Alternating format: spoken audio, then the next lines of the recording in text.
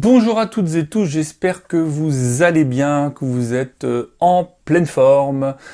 Je voudrais vous parler aujourd'hui des traumatismes. Là encore, vous m'avez euh, posé pas mal de questions à ce sujet. Et un peu plus tard dans la semaine, je ferai la différence entre l'EFT et le MDR, qui sont deux méthodes efficaces pour traiter les traumatismes. Mais je trouve que c'est déjà intéressant de s'intéresser à ce qu'est un traumatisme. Alors, de vous à moi, je ne sais plus du tout si j'en ai parlé dans les vlogs, peu importe, avec le temps, il y a des choses qui vont revenir évidemment, et euh, ce n'est pas vraiment un souci. Et je trouve que c'est déjà euh, hyper euh, soulageant quand on a compris qu'en fait, quelqu'un qui avait vécu un traumatisme n'est absolument pas responsable de ce qui lui arrive, et notamment après. Parce que vous allez vite cerner que c'est très très physiologique et très neuronal cette histoire. Donc vous pouvez lâcher la culpabilité si c'est ok pour vous que des euh, dizaines d'années après, euh, vous ne puissiez plus aller dans certains lieux, vous ayez euh, des angoisses, des peurs de toute nature différente, parce que bah, c'est ainsi, c'est stocké à un endroit du cerveau et vous n'y pouvez rien.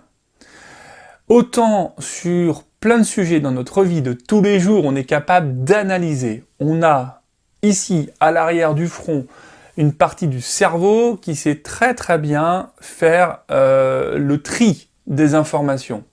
C'est un peu comme euh, le videur qui est à l'entrée de la boîte de nuit, si vous voulez, et qui laisse passer ou qui laisse pas passer l'information.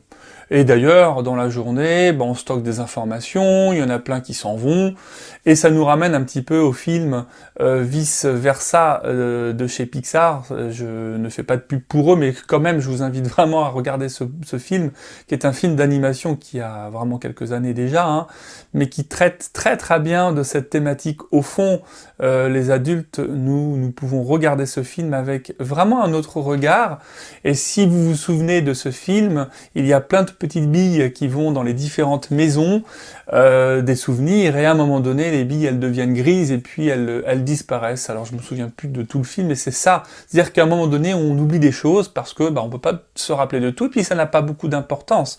Le, le videur a, a, a, accepté que l'information soit stockée quelque part, et puis à un moment donné, bon, je ne sais pas ce que sont devenus les gens sur la piste de danse, mais en tout cas, voilà, on se rappelle pas de tout. Et puis, il y a des informations, euh, et on va entrer dans le sujet des traumatismes, euh, qui sont sidérantes. Ça veut dire qu'à un moment donné, le videur qui est devant la boîte de nuit, il comprend pas ce qui se passe. Donc, on vit une expérience, un traumatisme, c'est une expérience vraiment très exceptionnelle, hors norme, et euh, qui fait qu'à un moment donné, justement, notre cerveau, ici, qui est la partie du cerveau qui a l'habitude de traiter l'information, de, l'analyser, c'est vraiment de l'analyse, il est sidéré. Donc en fait, il fait pas le travail. Il, se fige, en quelque sorte, et l'information arrive directement derrière. Derrière la partie analytique de notre cerveau, en préfrontal, il y a à l'arrière ce qu'on appelle le cerveau limbique. Il est un peu derrière les yeux là. Hein.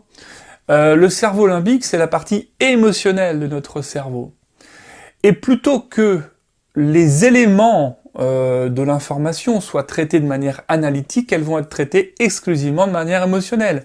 Imaginez ce que ça donne du coup.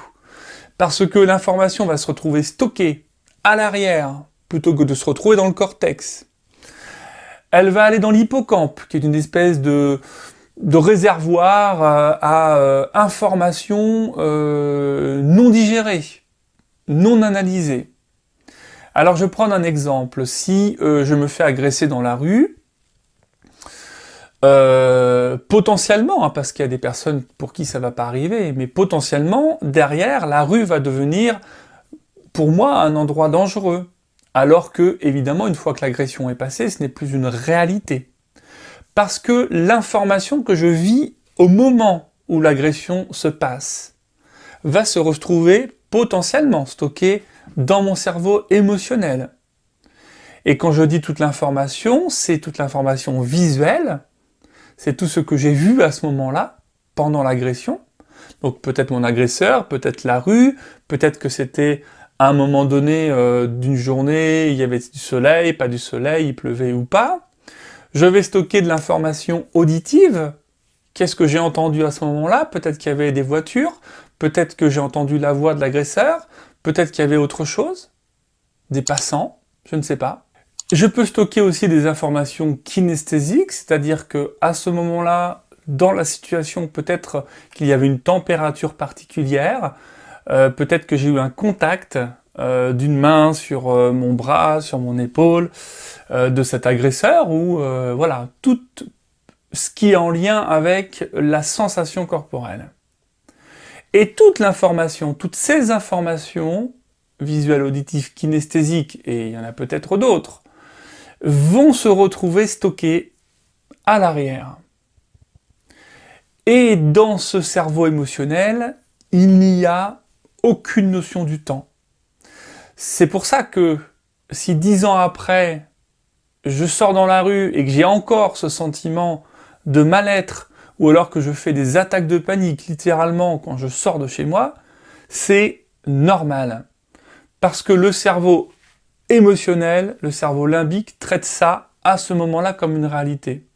Puisque c'est une information qui n'a pas été intégrée dans le magasin de nos souvenirs avec euh, un fichier euh, informatique, une date où euh, les souvenirs se sont déroulés. C'est comme si c'était maintenant en fait. Et c'est une des raisons pour lesquelles on parle beaucoup du syndrome post-traumatique, c'est toutes les expériences vécues qui, un jour, dix jours, un an, dix ans, trente ans après, vont continuer à animer une personne alors que le danger est passé. Et ça, en accompagnement thérapeutique, bien évidemment, c'est quelque chose d'extrêmement fréquent. Et pour finir, sur le plan neuronal, pourquoi est-ce que ça déclenche quelque chose C'est que l'information qui est traitée par le cerveau limbique est d'une telle intensité émotionnelle qu'il y a des petites glandes qui s'appellent les amygdales, il y en a deux, elles sont à l'arrière, toujours dans le cerveau émotionnel, et elles, ce sont des systèmes d'alerte. C'est-à-dire que elles, traitent l'information comme une réalité, puisque je dis dans cette partie du cerveau qu'il n'y a pas de notion du temps, ce qui est très logique, c'est pas traité dans le magasin des souvenirs, c'est traité comme une réalité. Eh bien, cette réalité est d'une telle intensité que pour euh, protéger aussi l'intégrité euh, psychique, qu'est-ce que font ces amygdales? Ben, En fait, elles déchargent leur intensité émotionnelle. ça décharge par le tronc cérébral et ça va dans le corps en fait. D'où l'idée que potentiellement on peut faire des crises d'angoisse, des crises de panique alors qu'il n'y a zéro danger. Mais il faut bien que cette euh, information qui est traitée, qui est d'une telle intensité pour essayer de ne pas griller nos neurones, euh, on est vraiment à cette idée hein, quand même. Hein. Et c'est bien foutu parce que du coup, les, les amygdales euh, génèrent un système d'alerte, disent attention, au secours, il y a un danger, alors qu'est-ce qui se passe à ce moment-là dans la situation? Imaginez, je suis dans la rue, je me suis fait agresser il y a, 10 ans, et mes amygdales, elles arrêtent pas de hurler en me disant il y a un danger mon gars, il y a un danger.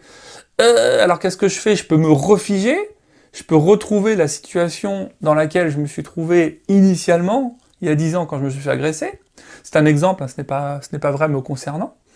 Euh, mais je peux me retrouver vraiment figé dans la rue comme ça, je peux me retrouver avec les mêmes sensations, les mêmes perceptions. Si je vais quelque part et que je retrouve la température euh, extérieure qu'il y avait à ce moment-là de l'agression, si je sens un parfum qui au fond est celui de mon agresseur alors que je me rappelle plus de rien, mais mon inconscient s'en rappelle, je peux déclencher un mécanisme où il y a un danger. Voyez à quel point tout cela est fin et intelligent. C'est super bien traité, sauf que ça devient invivable. Et donc le traumatisme, il y a des personnes qui vont tout à fait le gérer, hein, c'est ce qu'on appelle des gens résilients, ils ont vécu un truc incroyable, et puis bah ils arrivent à vivre assez facilement derrière. Peut-être qu'ils ont construit quand même des mécanismes de protection plus ou moins visibles, euh, genre ne plus du tout euh, chercher à sentir les choses, euh, ou l'évitement, essayer de plus aller dans la rue, par exemple, ce qui est pas très facile quand même. Il y a des mécanismes de protection plus faciles à mettre que d'autres. Hein. L'évitement est très très connu par les gens qui sont phobiques, hein. éviter d'être en relation avec l'objet de la phobie. euh, sachant que la phobie elle-même peut être issue d'un traumatisme, mais parfois ça n'a absolument rien à voir. Hein. Euh, voilà ce que j'ai envie de vous dire, parce que quand on va parler de l'EFT ou de l'EMDR, ça va être beaucoup plus facile à appréhender pourquoi l'EFT et l'EMDR fonctionnent, je vous en dirai plus à ce moment-là. C'est parce qu'il y a une mécanique euh, neuronale, une mécanique qui se passe dans notre cerveau et qu'il est possible de déloger. Vous comprenez du coup que le but du jeu, ce serait de enlever l'information qui est là et de la mettre au cortex.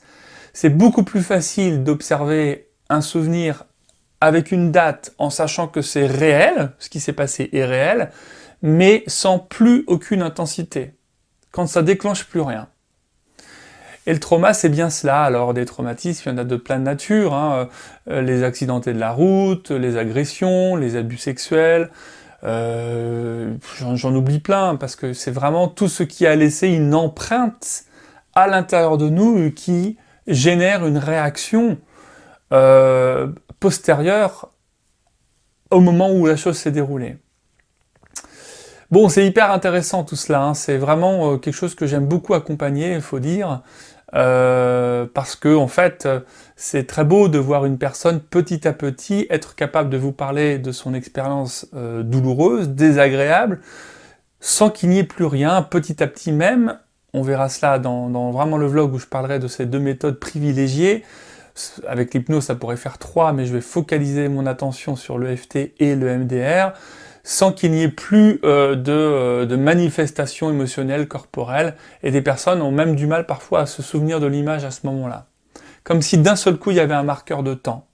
Ce qui est vrai parce que l'information petit à petit part du cerveau émotionnel, donc elle est moins accessible. C'est hyper encourageant, donc euh, bon courage justement à toutes celles et ceux qui connaissaient bien cela, qui vivaient ou avaient vécu ce genre d'expérience. Euh, j'ai gardé la foi, mais c'est au-delà de la foi, hein, c'est sachez qu'il existe des méthodes pour vraiment vous libérer de ces empreintes. Ça sert à rien de les garder à l'intérieur, et ça peut être toute la vie comme ça. Voilà, allez, je vous souhaite une bonne journée. À demain, merci à vous.